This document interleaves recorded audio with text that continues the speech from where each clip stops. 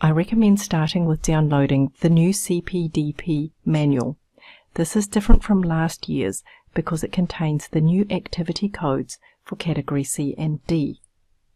You can click the link in the infographic to take you directly to the PDF on the RCPA website.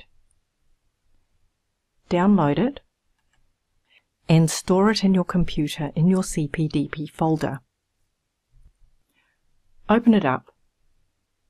You'll see that this is the 2020 version, which is what you want, and scroll down to page 8. I found it useful to reduce the complexity by marking up the codes that are applicable to me by using the highlighting tool here and the text tool.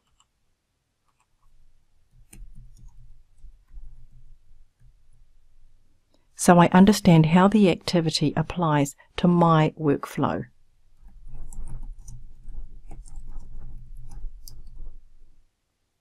Then when I refer back to this PDF, I immediately know how to code an activity and what the restrictions are, such as two hours are allowed for preparation of a lecture or tutorial and three hours for the preparation of a poster or oral presentation.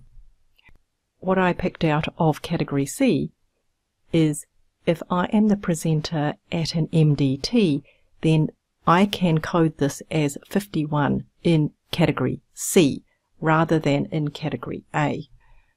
Similarly, when I show my reports to others to review, that's A code 54, and showing my slides to others is a code 57.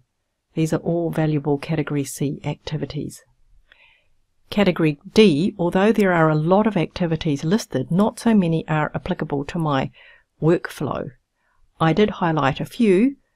Here's an applicable one, working up a new method such as a new immunohistochemistry, and I'm working on one with Ross for heat shock protein 70, and the usual one here of code 84 for participating in the external QAP program. Another Category D code is if you send away your case for an outside external opinion. So now I have a personalized CPDP manual specific to my workflow.